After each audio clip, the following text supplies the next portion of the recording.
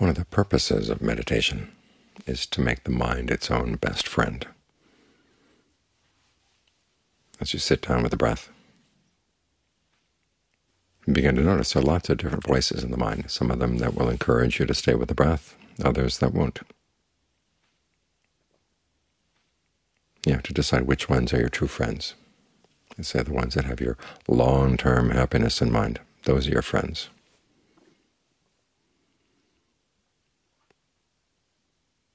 Then you want to learn how to strengthen those friends.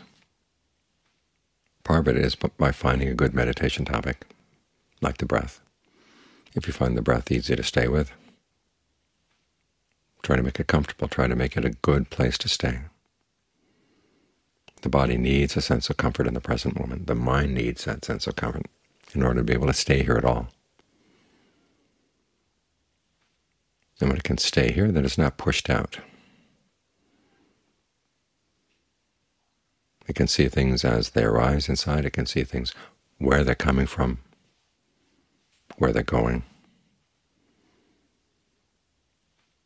And you're in a much better position to see what thoughts you want to go with and which ones you don't.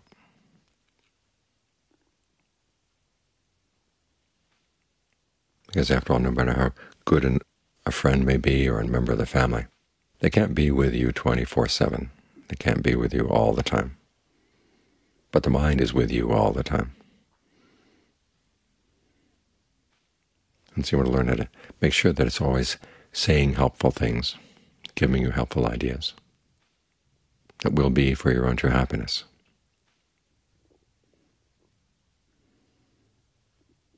So you can get the most out of the fact that you've got this human life.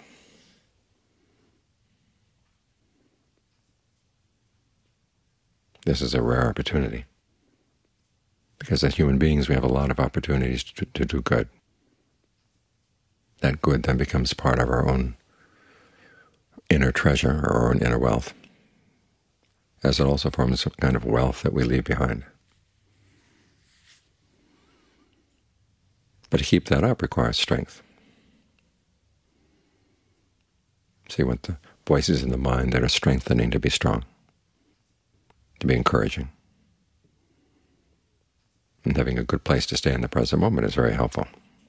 If the breath is hard to focus on, you might try thoughts of goodwill itself. It's one of what they call the sublime attitudes. You try to have goodwill for everybody without exception. And by extension, you, if you see someone suffering, you want to have compassion for them. In other words, you want to have them, if you can, help them get out of that suffering. Or if you see someone who's doing the kinds of things that will lead to suffering down the line, you want to help them if you can. As for people who are already happy or already doing things that are going to lead to happiness, you're happy for them. You're not jealous. You're not envious. You're not resentful of their happiness. And then to back all that up, you have to have an attitude of equanimity. In other words, realizing there are some cases where you really cannot make a difference. No matter how much you want someone to be happy, it's not going to happen. So instead of wasting your energy on areas where you can't help, you learn to focus energy on areas where you can. This way, this kind of equanimity is like that of a doctor. The doctor gets a patient, and the doctor may see that the patient has some prospect of getting well. But there may be cases where the patient is not going to get well, in which case the doctor has to figure out ways to make sure the patient doesn't suffer too much, doesn't spread diseases around. In other words, the doctor focuses on what can be done. As for what can't be done, there's no need to waste your energy there. See, these are good attitudes to develop. It's actually a a meditation topic. You go through all the people in the world for whom you might have ill will. In other words, you'd like to see them suffer, and you ask yourself, what would be gained by that? And when you wish for people to be happy, what are you wishing for? Well, happiness just doesn't come floating by. It comes from people's actions. So you're wishing that they understand the causes for true happiness and be willing and able to act on them. Then ask yourself, is there anybody out there for whom you cannot feel that? There may be people who've wronged you in the past, or wronged someone that you love, or done harm to lots of people. But wishing them ill is not going to solve the problem. If they could somehow change their ways, you should be happy for them. That's the kind of attitude that's asked. So just go through the list of people you have. There may be quite a few people from you have trouble feeling goodwill, but you try to work your way through that inner conversation as to why you might want to have ill will, to realize that nothing's gained by it. You don't get anything from it. Nobody else gains anything from it. So you learn how to talk your way into an attitude of goodwill for everybody. When you have goodwill for everybody, then you can start trusting yourself more. Because if you have ill will for some people, it's hard to act skillfully around them. And then that unskillful action becomes your own bad karma. So for your sake, even more than for their sake, you want to learn how to develop goodwill in all situations, compassion where it's appropriate, empathetic joy for it, that's appropriate, equanimity when that's appropriate. But you have to be ready to fall back on these attitudes whenever they're needed. So it requires practice. In developing these attitudes, you become not only a friend to the world, but also a friend to yourself.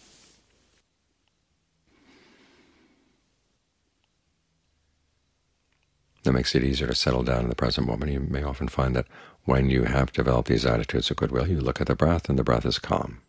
breath is smooth, at ease. You can switch over to the breath again and feel at home. Make the breath your friend. This requires getting to know the breath, just like with any friendship. You can't just walk up to someone, shake hands, and instantly be friends. You can be friendly, but to be true friends, you have to know the other person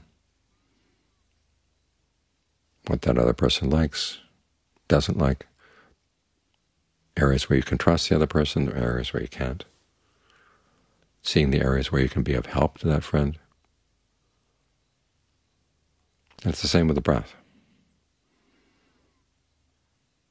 You want to get to know what the body needs right now and all its various needs as they change. That takes time. And you have to be observant. As with any friendship, it requires time, and you have to be observant around the other person.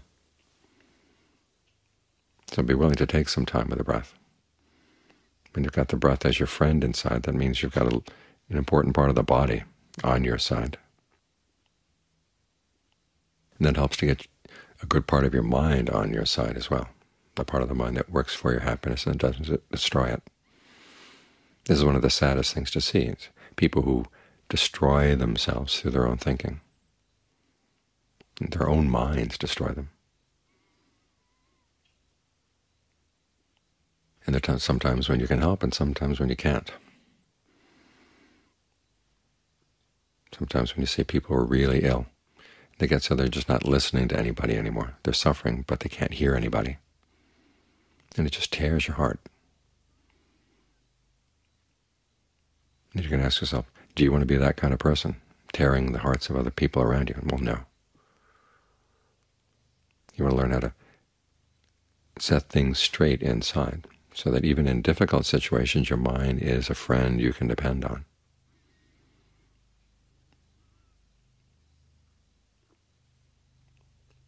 Then have the right attitude to the possibilities of what you can do.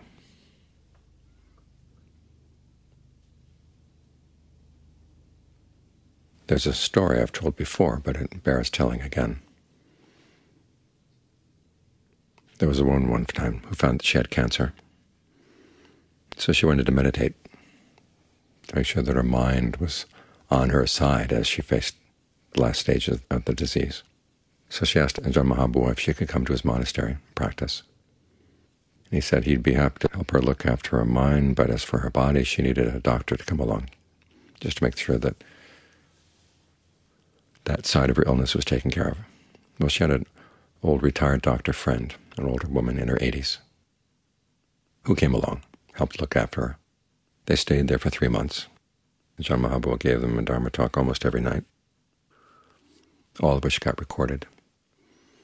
Then in the three months she went home, and about six months later she passed away.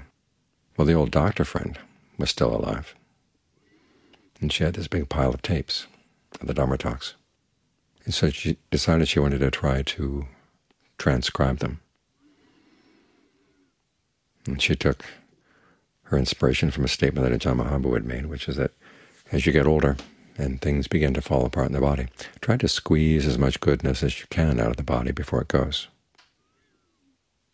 Almost like having a piece of fruit, and trying to squeeze all the juice out before you have to throw it away. So the old woman set about recording the tape. She got into a typewriter. She got into a tape machine. And she worked at it, worked at it, and was able to transcribe. It was almost 90 talks, two big books when they're finally printed. The whole purpose of that, as I said, was to squeeze as much goodness out of her body before she had to throw it away, because the goodness is what you take with you. You want to make sure that that is what you take with you, because your actions, the results of your actions, are what take, you take with you when you go. And they can be good or bad. So you want to take as much goodness as possible. And of course, in taking the goodness, you don't take all of it. You leave a lot of it behind as well. It's your gift.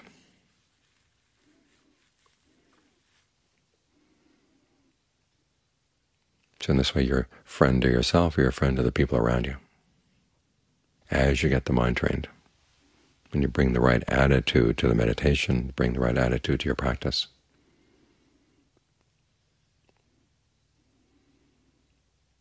you find that when you have this good friend inside, on one level it's the breath as your friend, and but the most important level is having your own mind as your friend.